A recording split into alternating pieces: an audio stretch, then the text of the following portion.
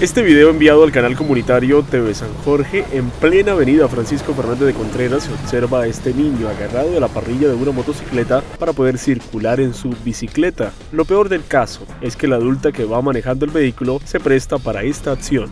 Una así no es por el mal comportamiento en las vías.